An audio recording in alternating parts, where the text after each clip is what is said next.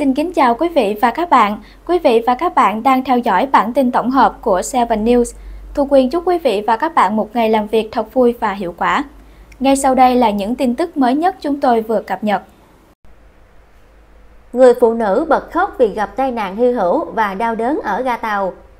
Đoạn clip được một nhân chứng ghi lại tại ga tàu điện ở Thượng Hải, Trung Quốc khi một người phụ nữ trong lúc bước xuống tàu đã vô tình bị lọt chân vào khe hở ở giữa toa tàu và sân ga. Bị mắc kẹt không thể rút chân ra và khoảng hở quá nhỏ khiến người phụ nữ bật khóc vì đau.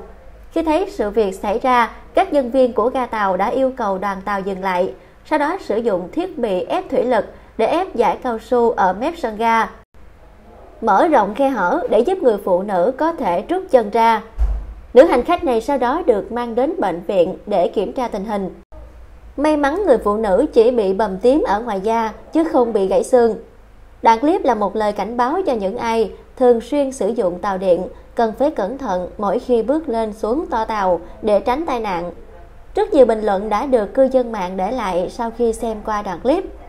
Tai nạn tưởng chừng chỉ xảy ra với trẻ con thì nay lại xảy ra với cả người lớn.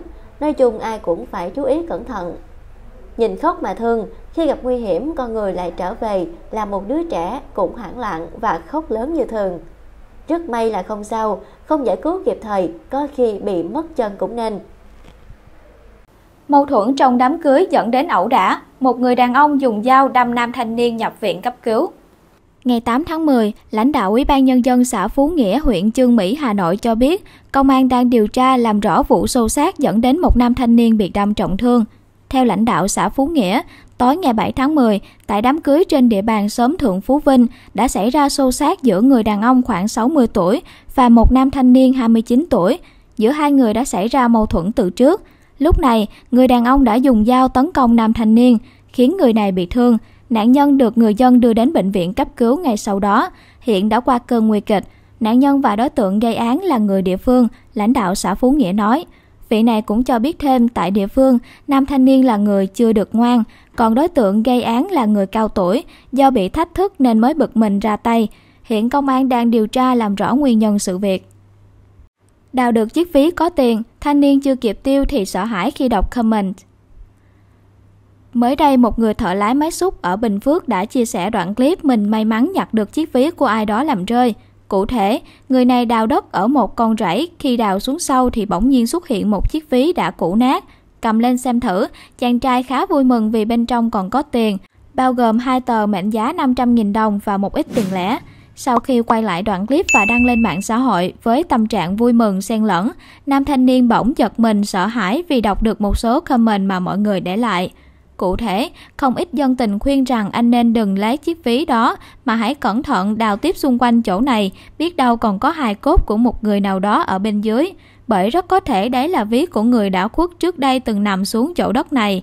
Tuy nhiên, ngược lại, một số khác lại phản bác rằng tâm linh suy diễn ít thôi, vì đơn thuần đó chỉ là chiếc ví của ai đi rẫy làm rơi, nhiều trận mưa lũ nên có thể bị vùi lấp xuống dưới lớp đất đá. Một số bình luận đáng chú ý được mọi người để lại. Nếu lấy tiền trong ví để tiêu xài thì sẽ rất xui, nên đưa mình tiêu dùm cho. Lấy đi rồi nó ám suốt đời xui đấy, mình xin xài dùm cho. Mình là người tốt nên không sợ. Chắc ảnh đọc xong bình luận sợ quá nên đem tiền đi mua tô phở ăn cho đỡ sợ rồi. Nhận hàng trăm triệu chuyển khoản nhầm, nói xạo ở nước ngoài, cố tình không trả. Tòa án Nhân dân thành phố Đà Nẵng vừa công bố bản án hình sự phúc thẩm chiếm giữ trái phép tài sản. Theo nội dung vụ án, Tối ngày 5 tháng 10 năm 2022, chị Trần Thị Cẩm Giang, 37 tuổi, trú Đà Nẵng, dùng mobile banking dự định chuyển hơn 310 triệu đồng từ tài khoản của chị mở tại ngân hàng Techcombank chi nhánh Đà Nẵng cho tài khoản của một công ty ở Hà Nội để thanh toán tiền hàng. Tuy nhiên, chị đã chuyển khoản nhầm vào tài khoản của chị Trần Thị Vân An, 36 tuổi, trú Hà Nội, cũng mở tại ngân hàng Techcombank. Biết đã chuyển tiền nhầm, chị Giang chuyển khoản thêm 50.000 đồng vào tài khoản của Vân An kèm theo nội dung mình chuyển nhầm số tiền 314 triệu đồng nhờ chuyển lại giúp, nhưng An không liên lạc, không trả lại tiền.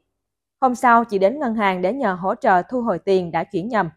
Nhân viên ngân hàng liên lạc với số điện thoại đã đăng ký tài khoản thì An tự xưng là chị của chủ tài khoản và nói An đang ở nước ngoài, sau Tết mới về Việt Nam. Chị Giang nhắn tin vào số điện thoại nói việc chuyển tiền nhầm, đề nghị trả lại thì An vẫn tiếp tục xưng là chị gái đưa thông tin gian dối là An đang ở Úc. Chiều ngày 6 tháng 10 năm 2022, An 3 lần chuyển khoản hơn 114 triệu đồng trong số tiền 314 triệu đồng trên để trả nợ, tiêu xài cá nhân. Chị Giang đã đến công an trình báo sự việc. Cơ quan công an xác minh yêu cầu ngân hàng liên quan tạm dừng giao dịch đối với hai tài khoản của An. Ngày 2 và 3 tháng 11 năm 2022, An đến ngân hàng chuyển trả lại cho chị Giang hơn 200 triệu đồng. Tháng 3 năm 2023, chồng An chuyển 100 triệu đồng, còn lại hơn 8,7 triệu đồng chị Giang tặng cho và xin giảm nhẹ hình phạt cho An. Bản án sơ thẩm, Tòa án Nhân dân quận Thanh Khê, Đà Nẵng tuyên bị cáo 15 tháng tù. Tòa phúc thẩm mới đây tuyên y án sơ thẩm. Chỉ riêng trong ngày 6 tháng 10, thành phố Hồ Chí Minh phát hiện 4 ca bệnh đậu mùa khỉ. Hiện tại các ca bệnh đậu mùa khỉ đang được cách ly, điều trị ổn định.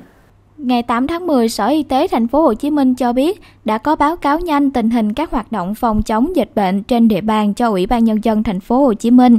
Trong đó, đáng quan tâm là bệnh đậu mùa khỉ. Theo báo cáo mới nhất này, trong ngày 6 tháng 10, thành phố Hồ Chí Minh phát hiện thêm 4 ca mắc mới đậu mùa khỉ.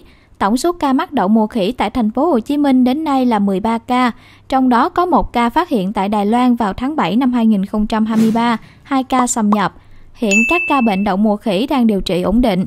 Công tác giám sát phát hiện sớm và điều trị bệnh đậu mùa khỉ vẫn đang được ngành y tế thành phố Hồ Chí Minh tăng cường.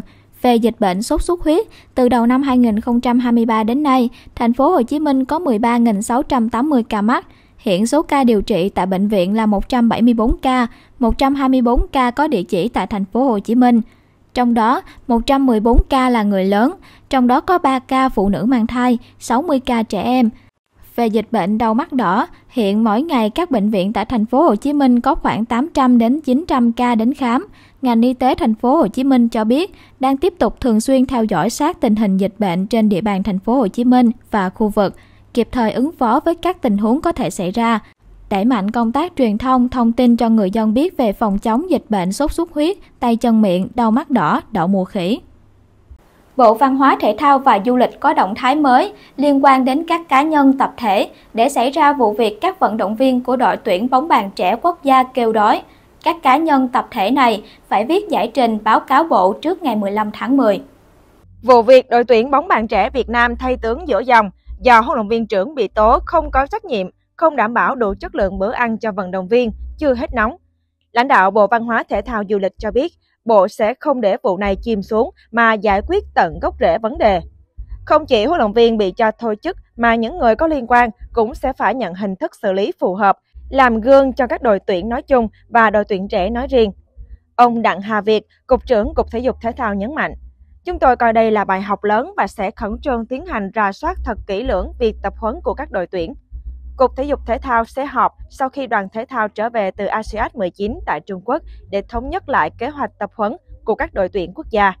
Những đội nào tập huấn ngoài Trung tâm huấn luyện thể thao quốc gia Hà Nội sẽ cần phải được siết chặt hơn nữa, không chỉ về chuyên môn mà còn về vấn đề dinh dưỡng đi lại. Hoặc có thể rút hết về Trung tâm huấn luyện thể thao Hà Nội như đội bóng bàn trẻ Việt Nam sau sự cố vừa xảy ra. Ngành thể thao sẽ không cho phép các đội lập quỹ riêng với bất kỳ mục đích gì, mà quỹ này lại do huấn luyện viên nắm giữ. Bộ Văn hóa Thể thao Du lịch còn yêu cầu các đơn vị phải nâng cao trách nhiệm trong phối hợp công việc, không phó thác toàn bộ cho ban huấn luyện, tránh xảy ra tình trạng buông lỏng trong quản lý các đội. Bộ Văn hóa Thể thao Du lịch yêu cầu các cá nhân tập thể có liên quan đến vụ việc phải viết kiểm điểm, giải trình và báo cáo bộ trước ngày 15 tháng 10, gồm nguyên huấn luyện viên trưởng đội tuyển bóng bàn trẻ Việt Nam Bùi Xuân Hà, lãnh đạo phòng thể thao thành tích cao 2 thuộc Cục Thể dục Thể thao, Bộ môn bóng bàn Cục Thể dục Thể thao, Khu Liên hợp Thể thao Quốc gia, Trung tâm huấn luyện thể thao Hà Nội. Căn cứ vào giải trình của từng cá nhân tập thể, Bộ Văn hóa Thể thao Du lịch sẽ có hướng xử lý tiếp theo. Người mẹ bị hiếp dâm hai lần viết đơn xin đi tù vì quá nhục nhã. Theo chị Lệ 34 tuổi ngụ Long An, khoảng 20 giờ hôm đó sau khi chị đi đám tang một người thân về nhà, trong lúc chuẩn bị cho hai con ngủ thì phát hiện tiếng động phía sau nhà. Khi đi kiểm tra thì bị một người đàn ông dùng vũ lực, cầm dao uy hiếp chị và hù dọa sẽ giết cả ba mẹ con nếu lên tiếng. Lúc đó hắn cầm dao, em sợ quá nên phải nghe theo lời hắn con bé nhỏ cứ khóc thét lên vì sợ hãi. Hắn vừa ôm em, vừa sờ soạn khắp cơ thể. Vì trong lúc đêm tối, nhà lại không có ai, chị chỉ biết cam chịu nỗi nhẫn nhục để bảo vệ hai đứa con của mình. Lúc đó em mệt quá, lại đói nên có cầu xin hắn đi nấu mì ăn rồi hãy thực hiện hiếp dâm. Vì hoàn cảnh gia đình khó khăn, chồng bỏ theo người khác để lại hai con gái, một bé 7 tuổi, một bé 3 tuổi, một mình chị phải gắn gượng nuôi các con. Em chỉ có hai đứa con là tài sản lớn nhất của mình, em đâu dám làm gì để nguy hiểm đến chúng. Em mà bỏ chạy, hai đứa nhỏ sẽ ra sao? Chị nghẹn ngào. Chị cũng cho biết đối tượng Huỳnh Lý An 29 tuổi ngụ thị trấn Tân Thạnh đã tiến hành hãm hiếp chị hai lần và liên tục đe dọa sẽ không được nói cho ai biết, nếu không sẽ giết chết cả ba mẹ con. Ngoài ra tên này còn thách thức chị có báo công an cũng không giải quyết được gì. Chị Lệ cho biết, kể từ sau ngày bị đối tượng An hiếp dâm, cuộc sống của chị bị ảnh hưởng nghiêm trọng. Nói về quyết định không khởi tố vụ án của cơ quan điều tra, chị càng khóc to hơn. Em là mẹ mà trong đêm bỏ chạy để hai đứa nhỏ lại cho kẻ hiếp dâm em sao em đành. Em không hiểu sao họ lại nói em có thể bỏ chạy mà không chạy. Không biết họ có con hay không mà lại nói những câu vô cảm như vậy. Em sẽ tiếp tục kiện lên các cơ quan cấp cao hơn để đòi lại công bằng cho mình. Vì quá túng quẫn, chị Lệ đã viết đơn xin đi tù vì không thể chịu nổi áp lực sống trong sự đàm tiếu của hàng xóm và mất niềm tin vào cơ quan chức năng. Bà Nguyễn Phương Hằng không kháng cáo án 3 năm tù. Liên quan vụ án Nguyễn Phương Hằng ngày 8 tháng 10, hết 15 ngày kháng cáo bản án sơ thẩm kể từ ngày hội đồng xét xử tuyên án. Được biết tòa án nhân dân thành phố Hồ Chí Minh không nhận được đơn kháng cáo của bị cáo Nguyễn Phương Hằng, 52 tuổi, Tổng giám đốc công ty cổ phần Đài Nam, Bình Dương.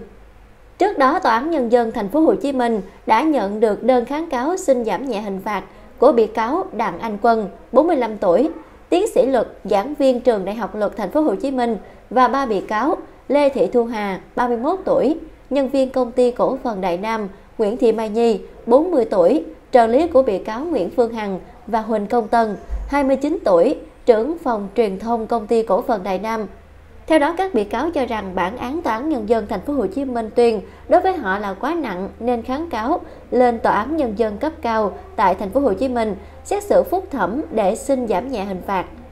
Ngày 21 tháng 9, tòa án nhân dân thành phố Hồ Chí Minh xét xử sơ thẩm tuyên phạt bị cáo Nguyễn Phương Hằng 3 năm tù, bị cáo Đặng Anh Quân 2 năm 6 tháng tù, ba đồng phạm Nguyễn Thị Mai Nhi, Lê Thị Thu Hà và Huỳnh Công Tân cùng 1 năm 6 tháng tù. Tại phiên tòa sơ thẩm, bà Nguyễn Phương Hằng và ba đồng phạm Hà Nhi Tân thừa nhận hành vi phạm tội.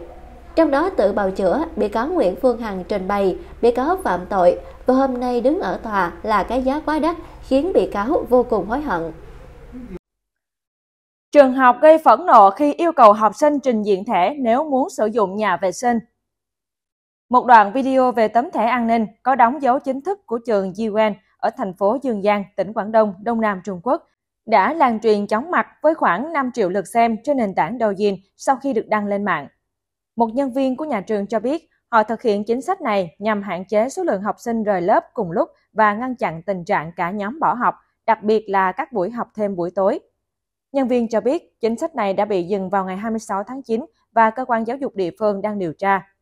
Cư dân mạng đã vô cùng phẫn nộ khi tin rằng chính sách của nhà trường đã vi phạm quyền lợi của các sinh viên.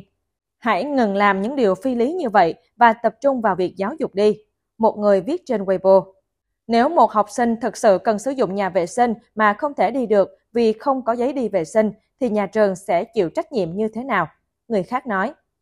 Ở trường cậu có cần giấy thông hành để ăn, uống nước, nói chuyện và thở không? Người thứ ba châm biếm.